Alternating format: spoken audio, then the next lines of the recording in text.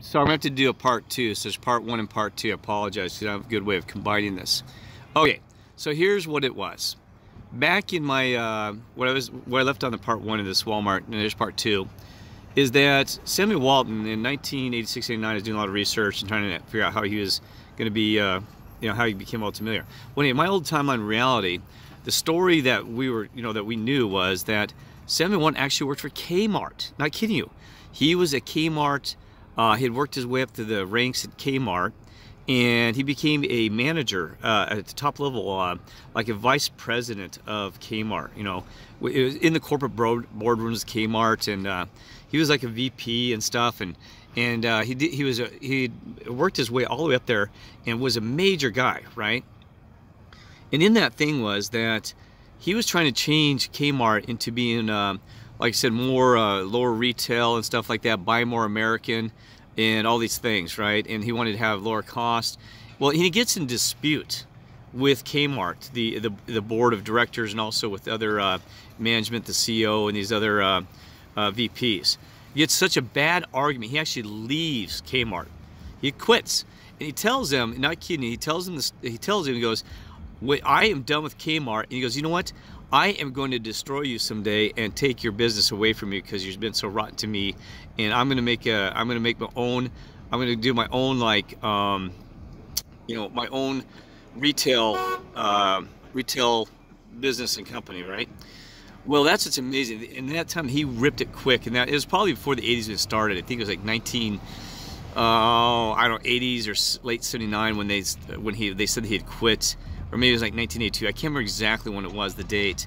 Uh, but he actually that he left Kmart and started building Walmart up, right? And he built it very quickly, and to, you know to what to my reality history wasn't that. And um, one of the things that was amazing about that, oh, I lost my thought because it just blew my mind about, um, yeah, that he built it so quickly, right? And guess even the name. They said, why did you choose Walmart?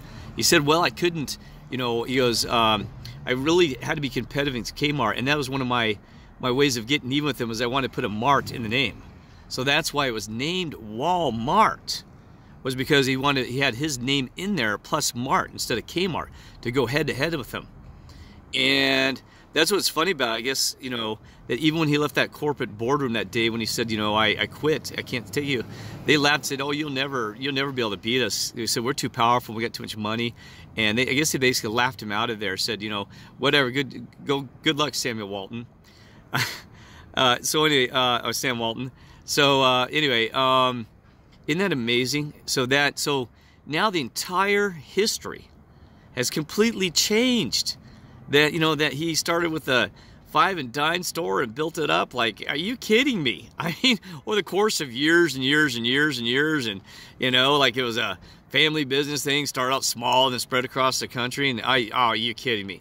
So i hope you give me a thumbs up or give me a comment if you remember my history versus what you do you know about uh, walmart. Another thing i want to show you too about walmart. See that symbol on the right of the walmart there? That that flower it's actually satanic. See, it's got six petals, Satan, and it's, you know, it's Satan. And I can't remember, they also said, it, I don't know if it's a lotus or something flower, that it's actually a, a false god type worshiping, okay?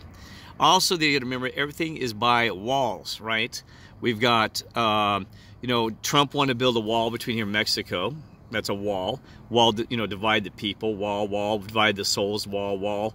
You know, everything that has kind of like a wall has a connotation to it that is negative, right? Not all, but but see, like Walmart. See, wall. You know, what I mean, wall. And even Trump is, right, we're going to build a wall, build a wall, build a wall, build a wall. And so um, there's other things I to think of walls. Um, oh, the the uh, the Great Britain, the wall. You know what I mean? The wall. I'm seriously, that divide the German people. You know, a division of they, they did to, to Germany, the Great Wall. Oh, there's a Great Wall of China, right? Now I don't know how that played, but the Great Wall, I don't know how that division be, whatever. But anyway, if it's got a term wall in it or other thing, that tends to be something very negative, dark, and evil, right?